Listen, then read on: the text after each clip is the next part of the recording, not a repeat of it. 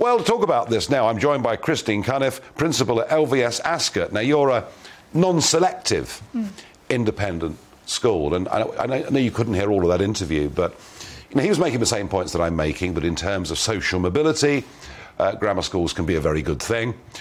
Uh, but you, um, you went to grammar school, didn't you? For two years. And? Say no more. Well, I think I left. my mother took me out before I was expelled.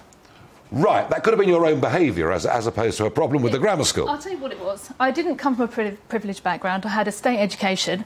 My mother had aspirations for me to go to a grammar school, and I was tutored through what was then the 12 plus in Buckinghamshire. Yep. Uh, ended up at a high performing grammar school with a high IQ, but no real grounding in education, and it was a failure to start with.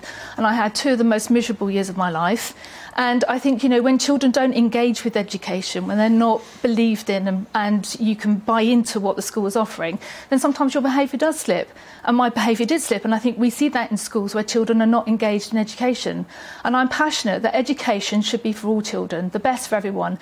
And, you know, you were talking about comprehensives. Why aren't they good enough? Shouldn't that be where the focus is, that all children have access to education? But if you've got if you've got um, a comprehensive in a deprived inner city area in this country, an area that has got huge social problems, um, language problems, that not everybody's speaking the same language that's attending those classes, very difficult in that environment for the really bright youngster to achieve their very best, isn't it? So the first thing you have to do is look at the funding what is the funding? Is it good enough for a school like that?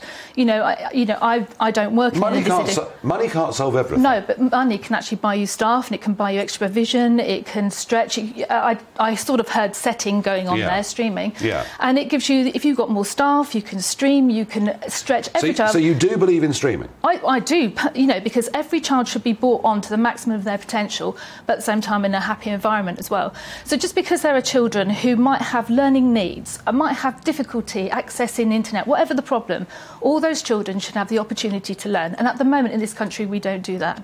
Is it unfair at 11 years old and then 13 years old to divide children up? It is. And I'll tell you why. Because I'm a mum of three children. They're all grown up now. I've been in education nearly 30 years. I've had experiences that weren't very good in education myself.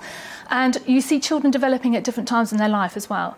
Now, we already write off children and say they've failed when they don't pass the 11 plus, when they don't pass it or get good SATs results, when they don't pass common entrance exam, we're already writing children off. A third of children don't pass their GCSE maths or English, do they? So we're telling, that... we're telling children from the start that they're failing.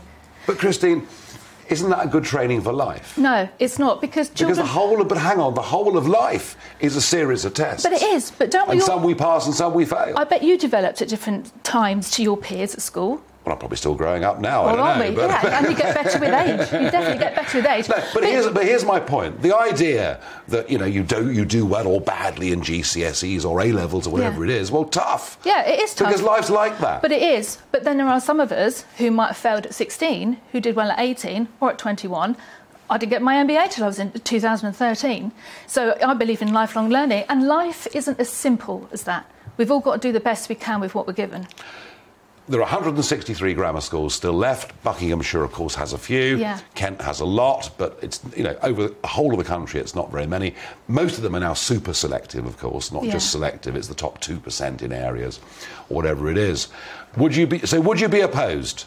To an extension of the number of grammar schools? I'm not opposed to anything that's good for the best of the children of this country. But all the time we're failing most children, well, majority of children, I think we are, and we're looking at social mobility. We're not addressing that.